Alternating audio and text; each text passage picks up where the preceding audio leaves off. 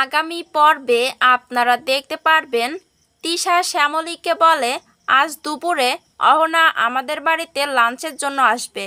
এরপরে শ্যামলী অহনার জন্য রান্নাঘরে খাবার রান্না করতে থাকে।